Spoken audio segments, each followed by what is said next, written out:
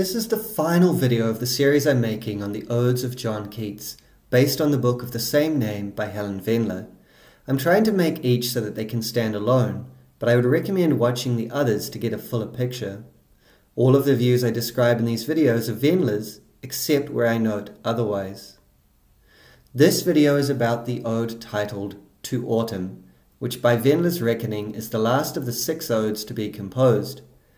John Keats wrote all the odes in the year 1819, just two years before his death from tuberculosis at the age 25. With this particular ode, we actually know the date it was composed, because Keats wrote about it to his friend John Hamilton Reynolds. We'll see some of this letter later. Throughout the series of odes, the poet's conception of life and art matures until it reaches full ripeness in the magnificent ode to the season of harvest. Here the poet comes to fully affirm the reality of process, which includes death, and finally finds a poetic language which unites sensation and thought, beauty and truth. This is generally considered one of the finest short poems in the English language, and this certainly appears to be Vendler's view as well. For her, it excels all of Keats' other odes and is their culmination. It is, as far as a poem can be, perfect. I'll read the poem before describing Vendler's analysis of it. For this, each stanza has its own slide. Here it is.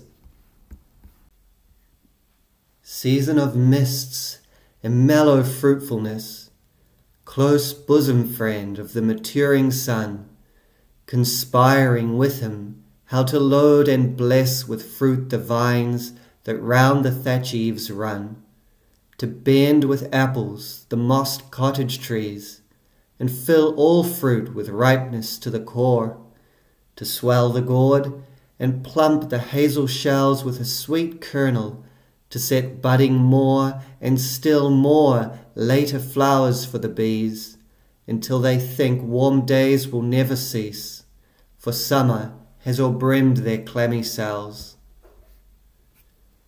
Who hath not seen thee oft amid thy store? Sometimes whoever seeks abroad may find thee sitting careless on a granary floor, thy hair soft lifted by the winnowing wind, or on a half-reaped furrow, sound asleep, drowsed with the fume of poppies, while thy hook spares the next swathe and all its twined flowers. And sometimes, like a gleaner, thou dost keep steady thy laden head across a brook, or by a cider press, with patient look, thou watchest the last oozings, hours by hours. Where are the songs of spring? Ay, where are they? Think not of them, thou hast thy music too, while barred clouds bloom the soft dying day and touch the stubble plains with rosy hue. Then in a wailful choir the small gnats mourn among the river sallows borne aloft or sinking as the light wind lives or dies, and full-grown lambs loud bleat from hilly bourne. Hedge crickets sing, and now with treble soft the red breast whistles from a garden croft, and gathering swallows twitter in the skies. The odes take up different attitudes towards the senses. Vendler calls them a series of controlled experiments in the suppression or permission of sense experience. For instance, Nightingale was focused on sound, Grecian Urn on vision, the ode immediately before this one, the ode on melancholy, admitted the lower senses of touch and taste, although there is a certain strain in that poem as the poet, in the face of melancholy, seizes his mistress' hand and feeds upon her eyes. In the Ode to Autumn, all five senses are brought effortlessly and harmoniously into play. Here I should note that, in Vendler's book, she devotes a chapter to the two epic Hyperion poems Keats began about the fall of the Titans but never completed. According to Vendler, he wrote the latter of these, titled The Fall of Hyperion, after the other odes but before the Ode to Autumn. In the book, Vendler uses these two other poems to better map the progress of his poetry and thought, though I've left them out of this video series on the odes as they're mostly not essential. And besides, if you're interested, this may serve as an additional impetus to get the book. The odes are a gradual progression towards embracing the reality of process, which was denied in the Ode to Psyche, evaded in, ode to, in the Ode to a Nightingale, grudgingly and implicitly accepted in the Ode on a Grecian Urn, and actively and explicitly pursued in the Ode on Melancholy. Here, in the Ode to Autumn, a poem addressed to a season, to something that is transient by its very definition, here a complete and unstrained affirmation of process is found. At the same time, the odes are a progression towards integrating beauty and truth, an aspiration announced in the Ode on a Grecian Urn in those famous yet mysterious lines Beauty is truth, truth beauty, that is all ye know on earth and all ye need to know. As I indicated in my video on that ode, though the poem announces the identity of beauty and truth, it doesn't exactly embody it. Instead, it oscillates between them. Even these lines themselves speak against their identity, filled as they are with propositional language, the truth of thought rather than the beauty of sensation. But Keats wants to find the two united, wants to find a way to express thought with sensation. In To Autumn, he achieves this by stationing beauty truly. I know that's bound to sound cryptic right now, but you'll get a sense of it in action as I go through Vendler's analysis of the poem, and I'll explain it explicitly at the end of my video. Let's start with the overall structure. According to Wendler, there are five large structural movements simultaneous with each other, interweaving and stretching through the whole of the poem. The first of these is a temporal one, the progress of the season from the late summer and early autumn of the first stanza's flowers, bees, and ripening fruit, through the central autumn imagery of harvest in the second stanza, to the stripped fields and gathering birds on the verge of winter in the final stanza. The second large movement is spatial, as though the whole poem were set in a particular farm, beginning in the central thatched cottage and surrounding trees and beehive of the first stanza, it expands outward to the wheat fields, granary, and cider press of the second stanza. Finally, in the third stanza, it reaches the utmost boundaries of the farm, its natural borders the river, the hills, and the hedgerows, and beyond even these, in the end, to the sky where the swallows are gathering. The third movement represents the progress of a day, from the mists of dawn in the first stanza through the midday heat in which the reaper drowses in the second, to the sunset bloom of the third. The fourth structural movement is one of imagery, from the tactile and kinesthetic images of moss covered trees, swelling fruits, and overflowing honey of the first stanza, through the predominantly visual second stanza which sees the personified figure of autumn stationed in different places and poses. Two, the auditory chorus of buzzing gnats, bleating lambs, chirping crickets, and birdsong that characterizes the final stanza. Of course, these senses are not only present in their respective stanzas, and the senses not emphasized are, if at least present also. The sweet taste of the hazelnut, the intoxicating fume of poppies. The fifth movement concerns the allegorical figure of autumn, who is only implicit in the first stanza but rises to visual presence throughout the second stanza, only to become effaced again in the, the third stanza. Another way to describe this final large movement is population, who or what inhabits each stanza. The first is inhabited by fruit, the second by the figure of autumn, and the third by the animals. Yet within each of these large movements, Vendler notes there are puzzling submotions. We will see some of these as we go through the poem. These submotions complicate any interpretation of the poem simply in terms of its broad movements, although they do not negate these movements. One of the first things we might notice about the poem as a whole is its privacy, or the intimacy between the poet and his goddess. This is quite different from the other odes, where the language content to the liturgical, which is a public rather than a private language. In the Ode to Psyche, for example, the poet purports to sing the goddess' secrets into her own soft conchured ear, suggestive of private intimacy. But the liturgical language belies this. O goddess, hear these tuneless numbers, wrung by sweet enforcement and remembrance dear. Here, on the other hand, there is none of this. When the poet says of the songs of spring, think not of them. It is as though only he and his goddess were present. The poet is so unconscious of his reader that we lose our identity and become him.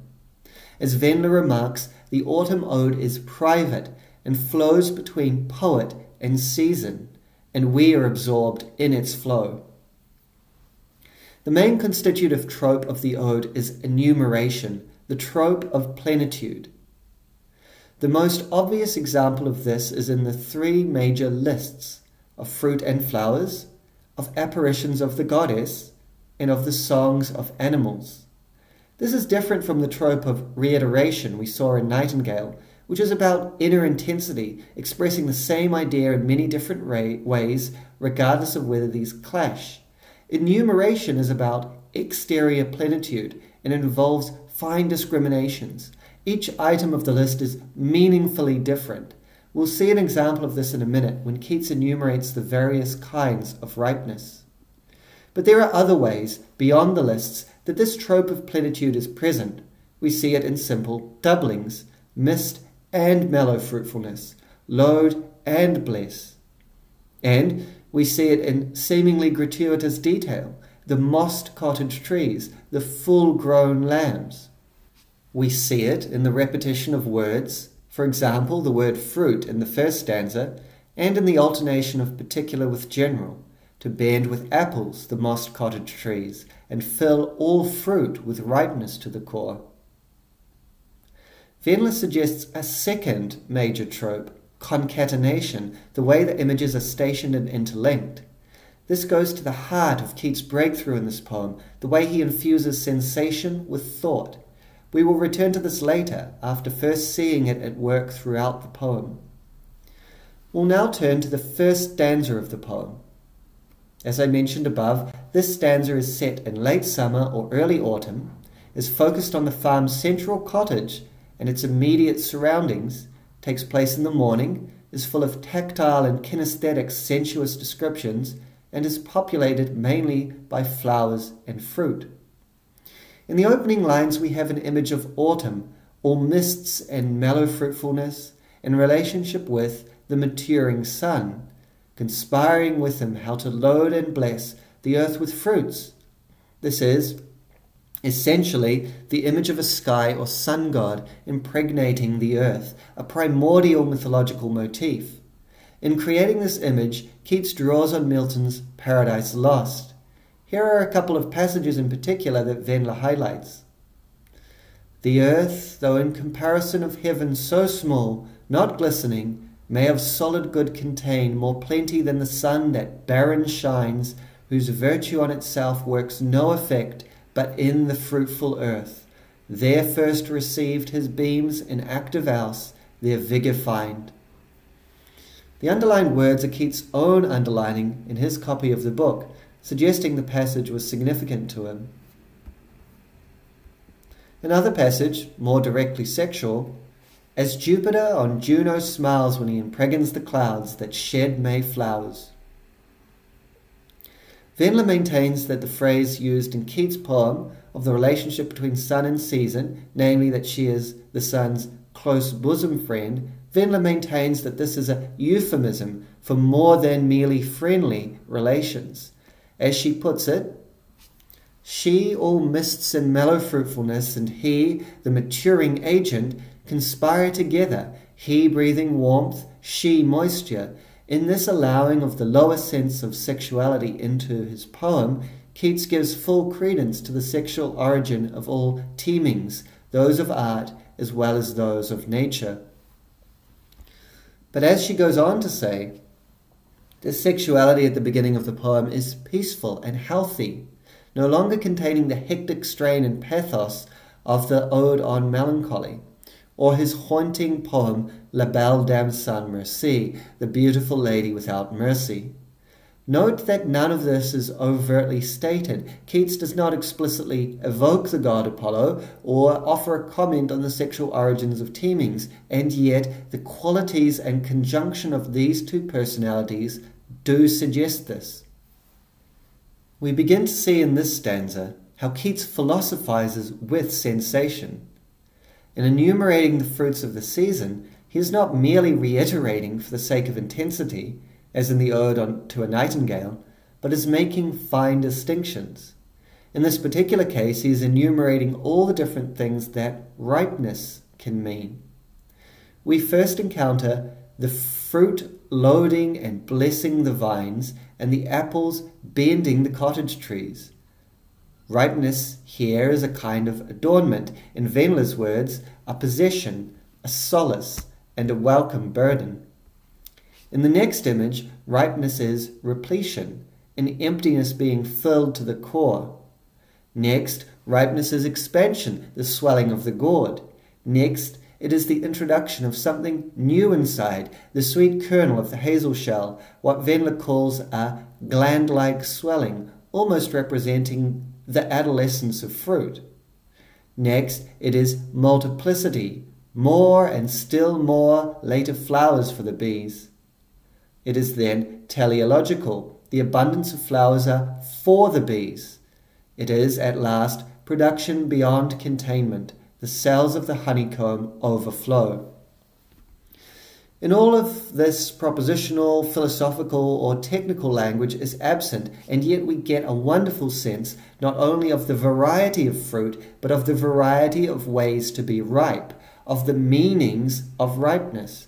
Keats achieves this by by finding for every analytic relation of ripeness that he perceives an appropriate synthesis of verbs and nouns and their appropriate syntactic relation. We see an example of a submotion at work at the end of the stanza, going against the large structural movement of the progression of the season. It is that the bee's harvest of honey from the flowers comes last, after the ripening of fruit, but based on the overall movement, it should come first, as the fruit comes after the flower. We even hear that summer has or brimmed their clammy cells, and this poem to autumn seems to look back to the season that preceded it. This reveals the submotion or undertow of nostalgia at work in the ode. We see it too in the reference to the songs of spring and the hint at spring lambs in the third stanza. There is an additional reason why the flower harvest of the bees was placed last in this stanza. Many of the verbs used to describe the actions of autumn have a natural terminus. Loading ends in overloading, bending ends in breaking, filling ends in overflowing, swelling ends in bursting, and plumping ends in splitting. Of course, all the fruits will be harvested before the overripeness which is their natural destiny so such endings are generally not depicted. But this profusion of verbs builds up a certain strain, which Keats relieves at last by letting one process run to its natural conclusion in the overbrimming of honey. For summer has o'erbrimmed their clammy cells. The second stanza is set in the middle of autumn. During the harvest, amid the more outlying grain fields of the farm, in the heat of the day, it is predominantly visual and is primarily inhabited by the allegorical figure of autumn. Though she was only implicit in the first stanza, as the addressee of the ode and the hidden agent of fruitfulness, in the second stanza the figure of autumn comes into full visible presence. We find her in the characteristic places and poses of harvesting, and yet it is she who is being harvested. We see a direct hint, hint at this as she sits careless on the granary floor. It is her own hair, not the grain, that is winnowed by the wind. Vendler reads a less direct hint in the closing image of the cider press and its last oozings, which are her lifeblood, not just the crushed apples. This is why she is strangely inactive, sitting careless rather than threshing or winnowing, asleep in the midst of her reaping, carrying the gleanings but not actively gleaning, and patiently watching the last oozings of the cider press rather than operating it.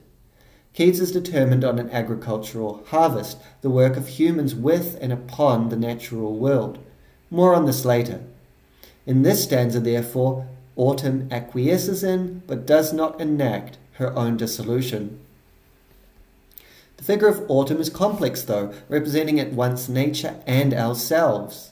Although on one level she represents nature acted upon, and so does not take active part in her own undoing, on another level, as a human figure, she represents human action upon nature, the agricultural harvest.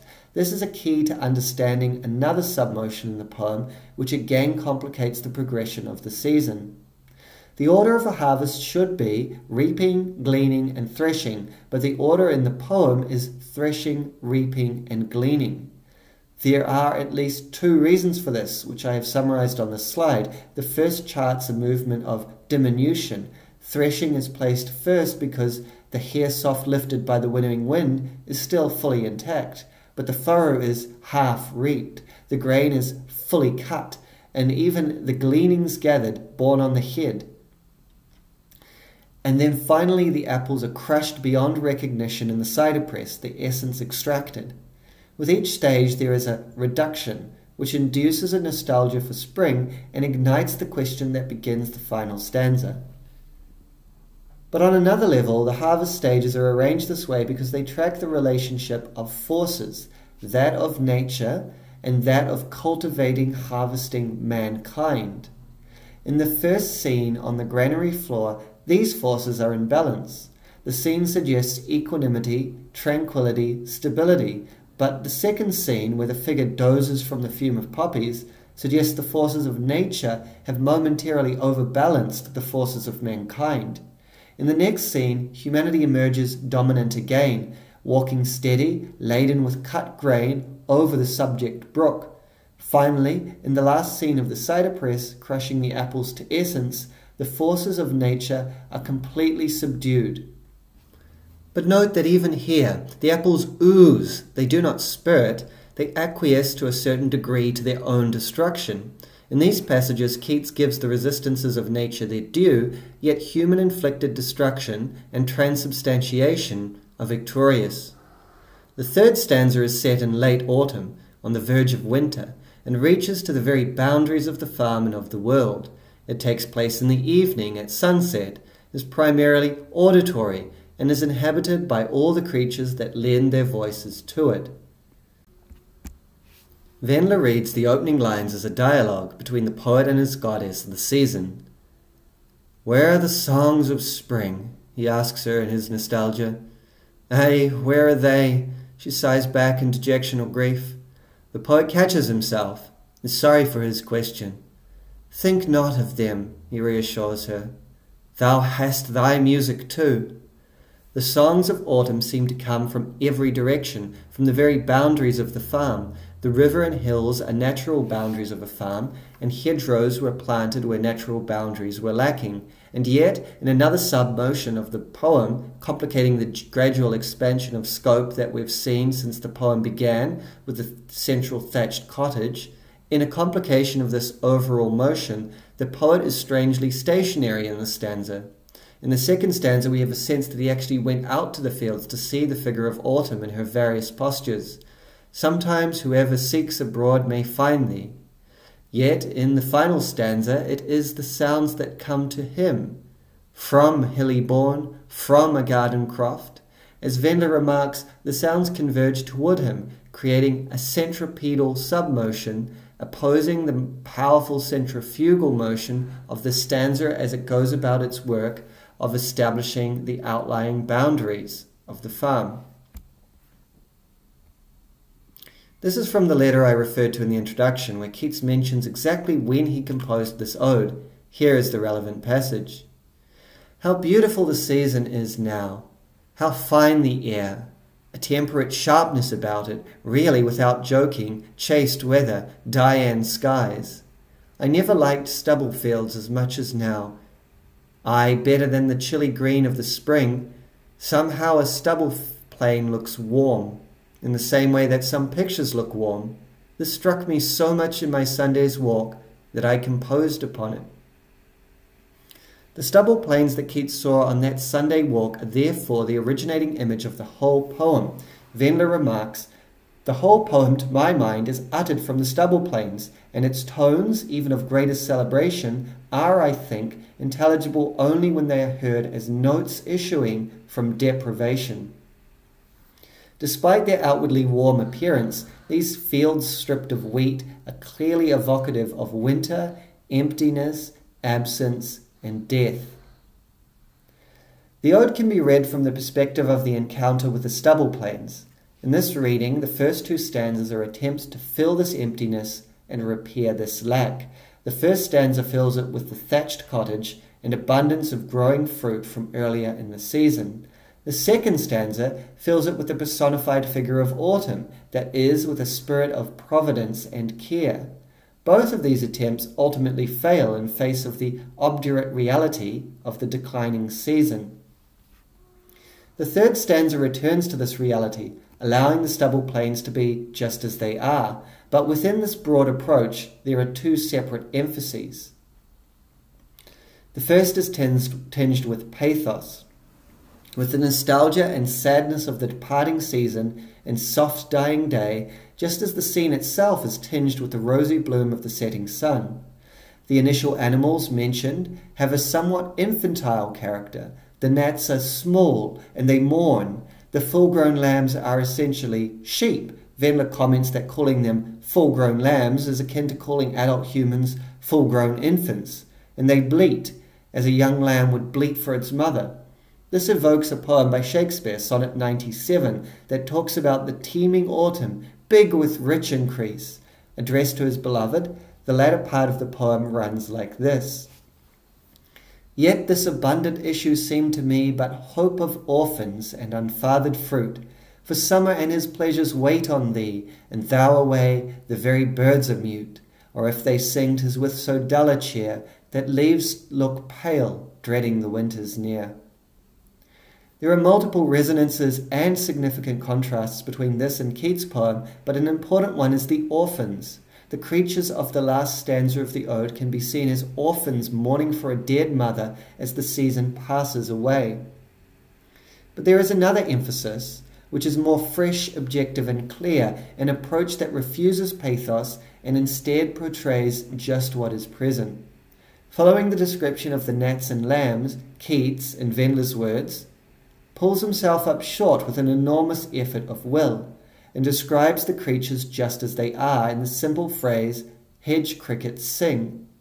For the final two species, too, the descriptions are relatively simple and accurate. Now with treble soft the red breast whistles from a garden croft, and gathering swallows twitter in the skies although here a very subtle note of pathos is allowed back in, the soft treble of the red breast, perhaps being associated with the soft high voice of a child singer, and the swallows gathering, perhaps for their winter migration. Nevertheless, the impression of the final lines leaves us with, in Vendler's words, the impression of the sobriety of the actual. And this is one of the greatest achievements of the poem. In the very last line, Keats finds, after experimenting with many others, his perfected word for poetic utterance. Gathering swallows twitter in the skies. Twitter certainly doesn't seem uh, like a very glorious term for what poets do, but in selecting this, Vendler argues, Keats comes to finally renounce his restorative hopes of the first two stanzas and of most of his previous odes. Poetry cannot really restore anything, and it cannot reproduce or reduplicate the world. It is not simply mimetic as it was in Psyche, nor is it a picture like the Grecian urn, though it is not unrelated to reality either, an escape from it as it was in Nightingale. It is instead like the twittering of the swallows, a thin thread of sound rising and falling in obedience to its governing rhythms. This realistic deflation of the expectations for poetry goes hand in hand with the sobriety of the actual that comes through in the final lines, as the poet lifts himself above pathos and attends with his twittering verse to just what is happening at this time. Vendler puts it more beautifully. In the last moment of the ode, both loss and its compensatory projections whether in ripening fruit, in peopled landscape, or in rosy bloom, are forgotten in an annihilation of subjectivity and a pure immersion in the actual. And with this, the poet's gaze rises from the bare landscape of approaching winter to the final boundary, the sky. In Vendler's words, the glance that rises to the skies in the last line, the swallow's twitter in, not from the skies, has lifted itself away from the panorama of the land and its missing riches, and is purged of self referential pathos and nostalgia for the past. The ode has floated free of its occasion and ends poised in the sound of song sufficient unto itself. Having gone through the poem stanza by stanza, I'll now summarize some of its overall meanings as Vendler sees them. On one level, the ode is a metaphor for human life, constant process, initial growth and fruitfulness, ultimately leading to a bleak, wintry end. But there is an aspect of the metaphor that Keats appears to deliberately avoid the reassuring fact of the cyclicality of the seasons. Autumn will end in winter, yes, but winter itself will lead to a new spring. Life will begin again. From this we might derive some hope in an afterlife. Death is not the end. But this is not what Keats appeared to believe, and is not in any case an obvious conclusion we can draw nowadays from our understanding of nature and human existence. While the dying autumn will eventually lead to a spring resurrection, when an individual human life ends, it simply ends. Therefore, Keats avoids any mention of spring except for the nostalgic, retrospective one at the beginning of the second stanza, which he then immediately dismisses.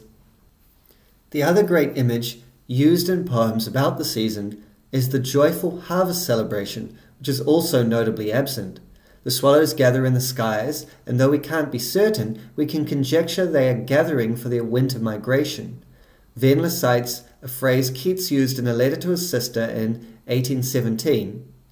They all vanish like swallows in October, suggesting he thinks of October swallows as annihilated beings. Of course, winter is not mentioned either. In fact, it is the only of the seasons not mentioned.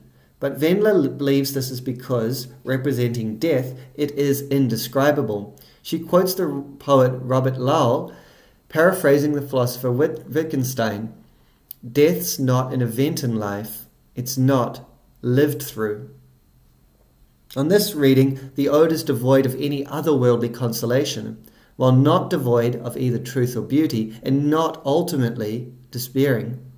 In the bare stubble plains of the, of the departing season, the ode to autumn, like most of the other odes, touches the absence at the heart of things. But its response to this absence is different than most of the other odes. In Psyche, the poet reduplicates the goddess's cult and shrine within his own mind in the hope that she will come to inhabit it. He tries to repair absence with art. In Nightingale, he uses the pure sensuous sound of music to escape for a time from the harsh realities of life, but returns to them in the end when he awakes from his reverie, as he inevitably must. In Grecian Urn, he senses the finality of death and the deathliness of art. In the little town at the origin of the sacrificial procession, now forever silent and empty, he does not evade this reality, though neither does he fully embrace it or integrate it. Only in the Ode on Melancholy does he actively seek it, and finds it in melancholy's shrine, within the very temple of delight. These penultimate image, the penultimate image of that ode is of bursting joy's grape against his palate fine, a marvelous image for affirming life and its intrinsic transience. But one cannot write an ode to an action, so he writes instead to a season, to that which is, like life, intrinsically transient. There is an absence at the heart of things. Life is an inexorable process. These two, of course, go together. In the Ode to Autumn, Keats finally affirms the reality of process, not in the forceful and strained, quasi heroic manner of melancholy. Though this strain is somewhat mitigated towards the end of that poem, I think the sense of it does remain. But with the simple openness and equanimity of an autumn yielding abundance, people harvesting it, and the season drawing to a close. Vendler summarizes Keats' achievement here. In singing a hymn to a season, he is worshipping beauty incorporating its own ending. Closely related to this, the poem fully recognizes the sacrificial nature of life and art, which was previously hinted at but not fully embraced in the sacrificial procession in Ode on a Grecian Urn, and arguably overdone in the final image in the Ode on Melancholy, the poet willingly hung as a cloudy trophy on the walls of Melancholy's shrine. The sense of the sacrificial pervades the ode to autumn without being overstrained. Life is inherently sacrificial because characterized by process and absence, but more than this, the good life is sacrificial because characterized by struggle, labor, pain, and the giving up of one thing for another. Likewise, art is sacrificial because of the demands it makes on the artist, but also because it transforms nature, life, and raw experience into something quite different, something somewhat artificial and social, with its own emphases and absences and rhythms, something like, in the case of poetry, the twittering of gathering swallows, a thin red thread of sound rising and falling.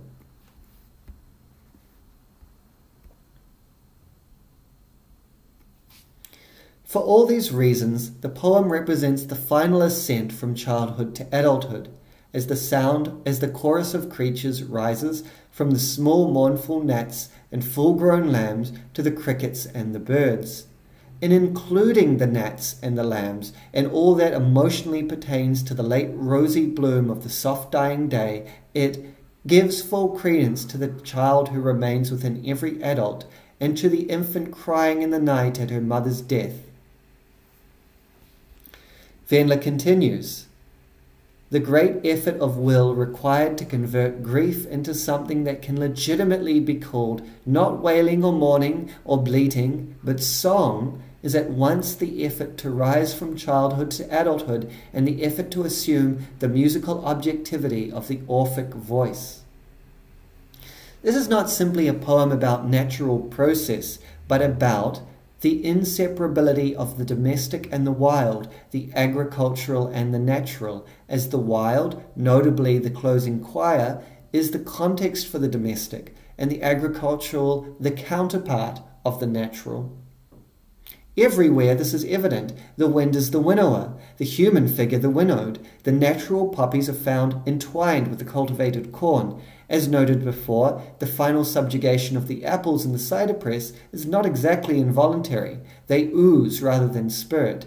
It is as though the clouds paint the landscape with a rosy hue. The gnats are a choir. The wind lives and dies. The crickets sing, and the swallows are gathering, gathering together or gathering grain, what Vendler calls the most elusive transfer of an agricultural word.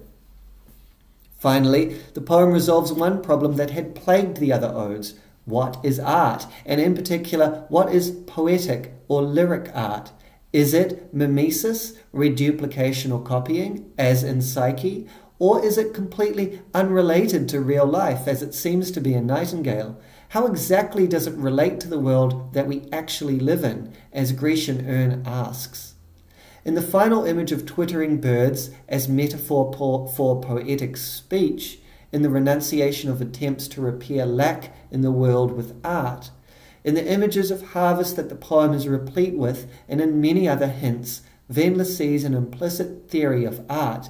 This theory rejects the idea that the criterion of poetic art should be strict representational truth.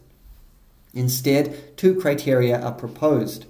The first is that poetry should derive from life, as juice derives from apples and grain derives from corn. There is this crucial relation, though not one of simple copying. Some, something more like extraction of essence or transubstantiation.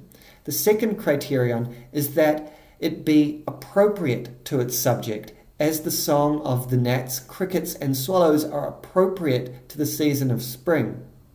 This is not to say it must be literally accurate, but that a certain relevance, resonance, or fittedness with its subject is essential. Now we come to what makes the poem most brilliant, not just what it is about, but how it is written. It achieves the union of beauty and truth that had eluded Keats until this point. Given to sensuous description, but concerned about truth, how could he unite these? In Nightingale, he flees truth for the sake of beauty. In Grecian Urn, he turns toward truth, stripping his language of much sensuous description and filling the poem with propositional language to do so. How else to talk about truth except by propositions? And yet, that is the work of the philosopher or scientist, not of the poet. In the Ode on Melancholy, he finds a sensuous image that expresses truth, the strenuous tongue that can burst joy's grape against the palate fine. But even here, the abstraction joy haunts the image and frustrates his attempt. Only into Autumn does he find a way to express truths purely through sensuous description, and he does this by the way he stations his words and verbal images in relation to each other. This is how we can read the various different types of ripeness, can sense the inexorable progress of the season, and can feel the different responses to absence and death. These things are not overtly stated, but are present nonetheless, and this is arguably precisely what makes for really excellent poetry. The poem is almost wholly without explicit references, announcements, or abstract vocabulary. And yet, says Vendler, there is no form, whether syntactic, grammatical, rhetorical, or descriptive, in the ode which is not symbolic, not formally meaningful. In my video on the Ode to a Nightingale, I mentioned a letter Keats wrote in, wrote in which he praised Shakespeare's sonnets. I never found so many beauties in the sonnets. They seem to be full of fine things said unintentionally in the intensity of working out conceits. As an example of this, he quotes from Sonnet 12, which, by the way, is more directly pertinent to Keats' poem to autumn. When lofty trees I see barren of leaves, which erst from heat did canopy the herd, in summer's green all girded up in sheaves, borne on the bier with white and bristly beard. This is part of a developing poetic conceit, and toward the end of the poem, Shakespeare states the meaning of it that sweets and beauties do themselves forsake and die as fast as they see others grow, and nothing gainst time's scythe can make defence. But Keats forbears to explain the interwoven conceits or images in the Ode to Autumn. It is as though he took what he admired in Shakespeare's sonnets to the extreme, stripping away all explanation and leaving only the conceits. As Vendler says, he was daring enough to let the working out of the conceit speak entirely for itself. Sensation could express thought without an intellectual commentary. In Vendler's eyes, this is Keats' great breakthrough in this ode. It meant that sensation and thought were not two things, but one, providing one wrote of articulated sensation, that beauty and truth were not two things but one, providing one had stationed beauty truly. Sensation, like thought, has structure, and this structure is expressive. It seems to me that poetry relies deeply on this expressive, structured sensation. Keats brings this to perfection in his final ode.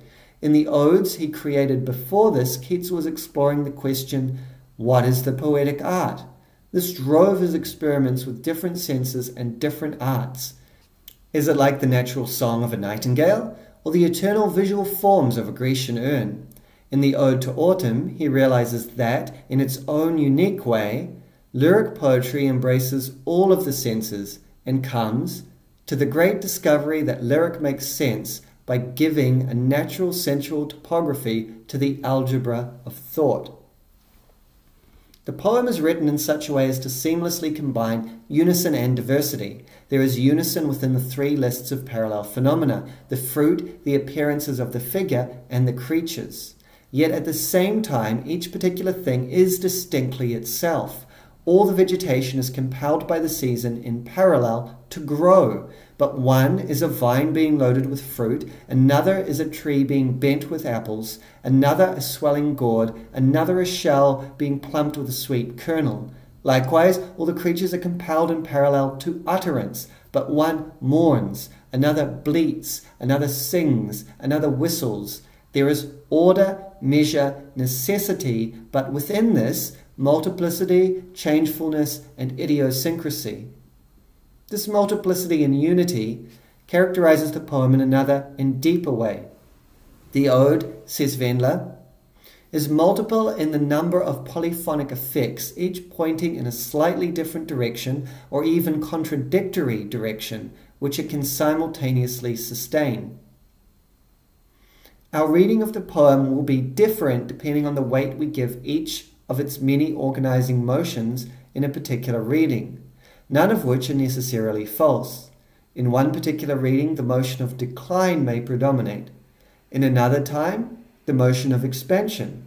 Sometimes creativity will predominate, sometimes sacrifice, sometimes plenitude, sometimes necessity. This is not arbitrary, they are all there, and not just anything can be read into the poem. Keats's previous poems have often been characterized by a movement of deepening intensity followed by a moment of desolation. Think of the Ode to a Nightingale, with its intensifying aesthetic trance, followed by its forlorn awakening to reality. This movement is absent from the Ode to Autumn. Instead, there is, as Vendler puts it, a rhythm of a steady rising and setting, concomitant with rhythms of expansion and etherealization. Without denying the value of dream, Keats no longer dreads the return to waking reality. He knows the proper use of both and the necessity of sacrifice. I'll leave you with this final quote. The single most important discovery of the poem is that the passing from dreaming to waking is the moment not of void, but of store and of utterance. Without the scythe and the cider press, there would be no grain and no oozings and no impetus to listen to the autumn voices.